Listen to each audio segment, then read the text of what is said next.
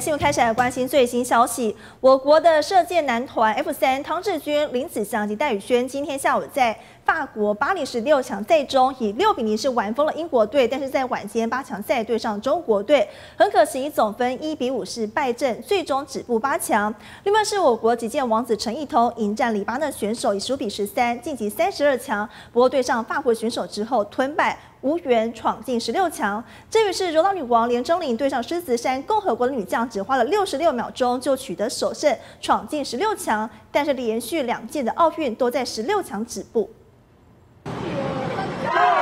出发前喊出的加油口号气势非凡。我国射箭男团在二十九号的十六强赛中交手英国，由在东京奥运拿下银牌的好手汤志军、汤包领军，西手戴宇轩、林子祥出击，首局就以五十四比五十三取得胜利，接着以五十八比五十六再下一城，以四比零遥遥领先。到了关键第三局，延续气势，以五十六比五十五胜出，连拿三盘射下英国队，顺利拿下八强门票。只不过到了八强赛对上强敌中国。双方首局都有高水准表现，打成平手，各拿一分。第二局中华队以一分之差落败，第三局又以五十四比五十六输掉，最终是以一比五吃下败仗，无缘闯进四强赛。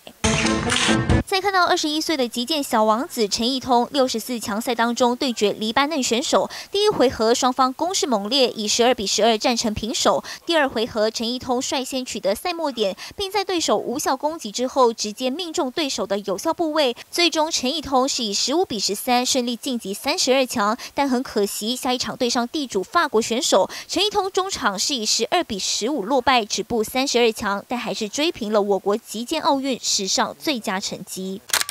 而柔道女王连珍玲在柔道女子五十七公斤级赛事当中对上狮子山共和国女将，开赛后连珍玲靠着三角压制对方超过二十秒，只花了六十六秒就获胜，闯进了十六强。只是在十六强赛当中对上了世界排名第九的塞尔维亚选手，先被对手取得半胜，最后也没能逆转胜，最终宣告落败，连两届奥运止步十六强。即便未能夺牌，能代表中华队闯进五环殿堂已是莫大荣耀。